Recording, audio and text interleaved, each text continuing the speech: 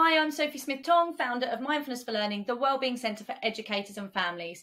I'm really excited to be speaking about mental health and wellbeing in the early years foundation stage at the Rethinking Education Conference 2023. Whether you work in the early years or not, developing an understanding of how the foundations are being laid in this area is incredibly important. After all, these children are likely to eventually reach you, whatever year you're teaching.